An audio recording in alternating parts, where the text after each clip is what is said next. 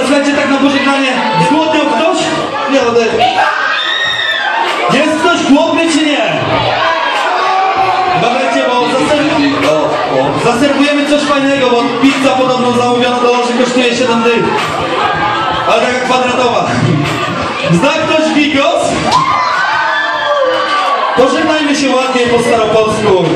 Czyli polska podprawa po prostu. DJ, daj to!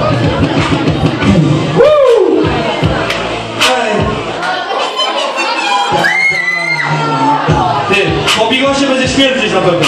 No nie, no. Dziewczyny są błąka. Może nie. Piotku, zrób to dla mnie dziś